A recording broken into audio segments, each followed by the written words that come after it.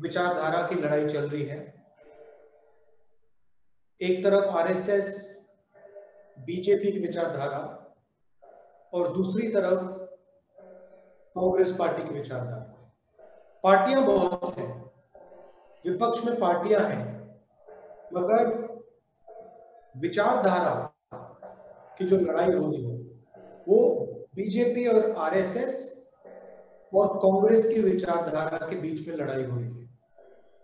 कांग्रेस की विचारधारा कॉन्स्टिट्यूशन की विचारधारा, देश को जोड़ने की विचारधारा, सबको एक साथ लेने की विचारधारा, जो हमारा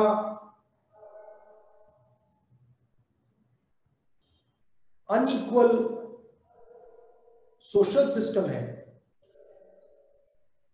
उसके खिलाफ लड़ने की विचारधारा कांग्रेस की है।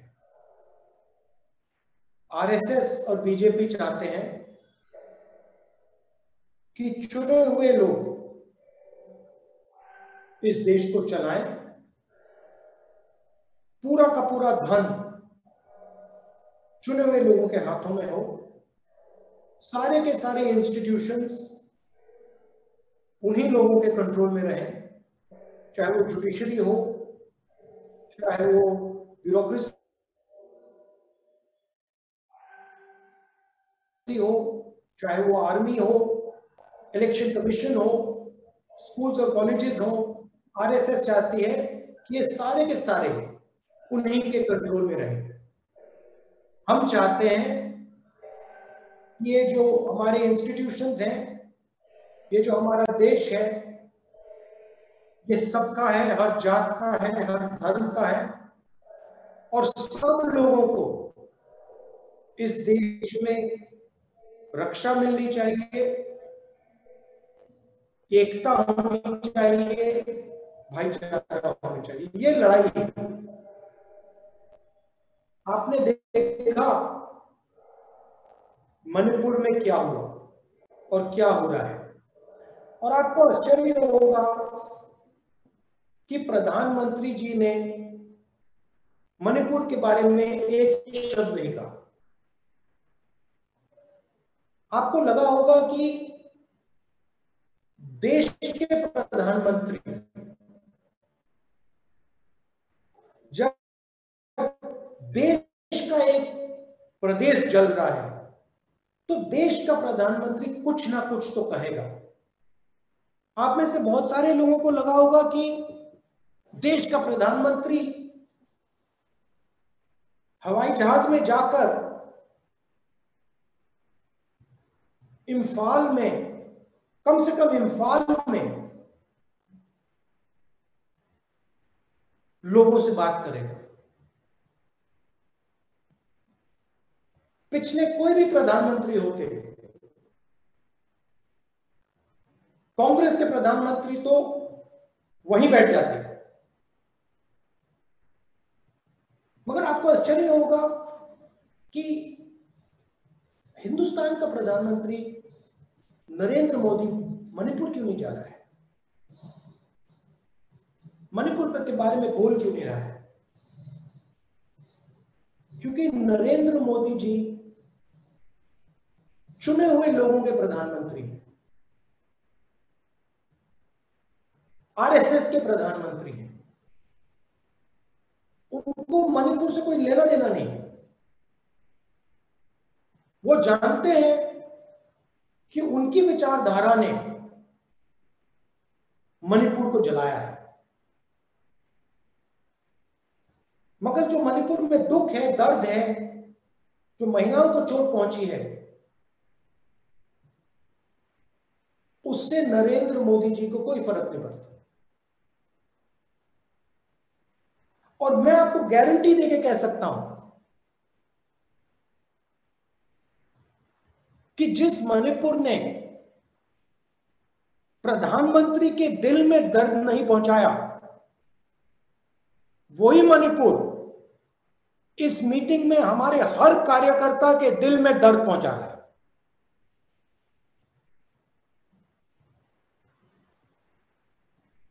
कि आपको लग रहा है, हर यूथ कांग्रेस के कार्यकर्ता को लग रहा है कि भाई हमारे देश में लोगों को चोट लग रही है?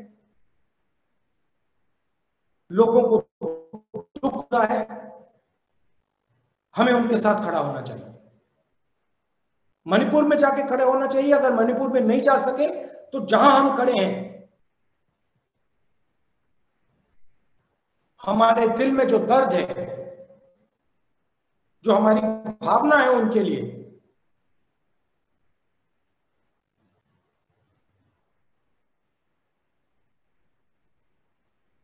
तो मेरा कहना है, ये फ़र्क है। वो सिर्फ़ सत्ता चाहते हैं और सत्ता के लिए वो कुछ भी कर देंगे। मणिपुर को जला देंगे, बाकी देश को जला देंगे। हरियाणा, पंजाब, उत्तर प्रदेश, सारे देश को जला देंगे, क्योंकि इनको सिर्फ़ सत्ता चाहिए और कुछ नहीं चाहिए। इनको देश के दर्द से कुछ फ़र्क नहीं पड़ता, दुख से कोई फ़र्क नहीं पड़ता, इनको सिर्फ़ सत्ता चाहिए। और ये लड़ाई है। एक तरफ़ आप बैठे हो, आप कांग्रेस पार्टी के भविष्य हो, आपके दिल में देश प्रेम है। जब देश को चोट लगती है कहीं भी हो, मणिपुर में हो, तमिलनाडु में हो, जम्मू कश्मीर में हो, उत्तर प्रदेश में हो, कहीं भी हो, जब देश को चोट लगती है, देश की किसी नागरिक को चोट लगती है, चाहे वो हिंदू हो, मुसलमान हो, सिख हो, ईसाई हो, तमिल बोलता हो, बंगाली बोलता हो, आपके दिल में चोट लगेगी, एकदम। आप उदास हो गए आपको पता भी नहीं लगेगा, मूड क्यों खराब हो गया।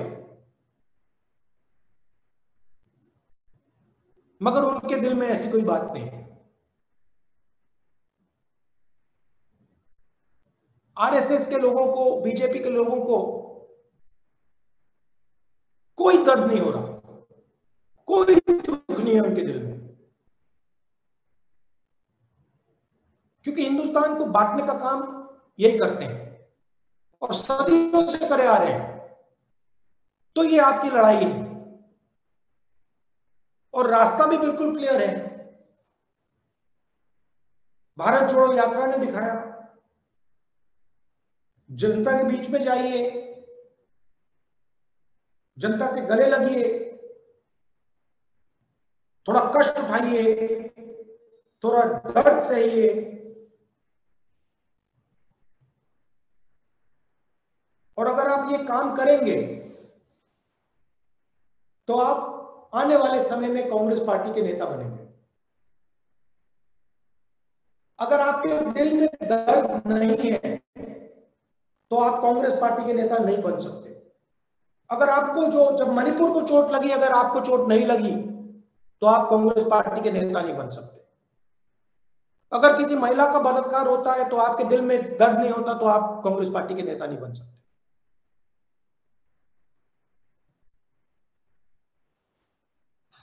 तो जो आपके दिल में जो दर्द होता है, उसका कारण आपकी देशभक्ति है कि आप अपने देश से प्यार करते हो।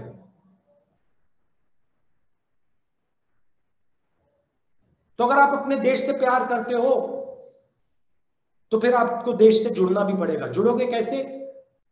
जनता के बीच में जाके,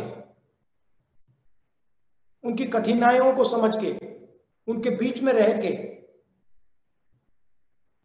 और एक दूसरे से प्यार और मोहब्बत से बर्ताव करके। भारत जोड़ो यात्रा में बहुत अच्छा नारा निकला। नफरत के बाज़ार में मोहब्बत की दुकान खोलनी है। यही आपका काम है। और कुछ बोलने की ज़रूरत नहीं है। मणिपुर में इन्होंने नफरत की बाज़ार खोली चलिए हम जाके मोहब्बत की दुकान खोलते हैं। जहाँ भी ये नफरत फैलाते हैं, वहाँ आप जाके मोहब्बत की दुकान खोलिए। और देखिए, मज़े की बात देखिए। ऑपोजिशन अलायंस ने बहुत सुंदर नाम चुना।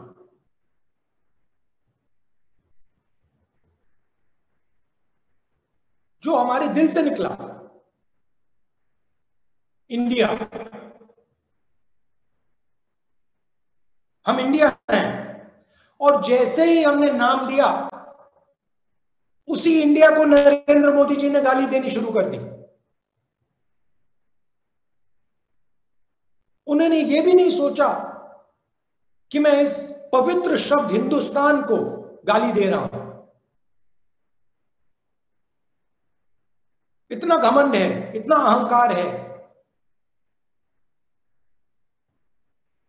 तो आप जाइए। मोहब्बत की दुकानें खोलिए। और इस सिर्फ़ जनता के बीच में नहीं, सिर्फ़ मणिपुर में नहीं, अपने घर में, भाई के साथ, बहन के साथ माता पिता के साथ, अपने कॉलीग्स के साथ यूथ कांग्रेस की टीम के साथ आप मोहब्बत फैलाइए, उनको नफरत फैलाने दीजिए। मुश्किल समय है।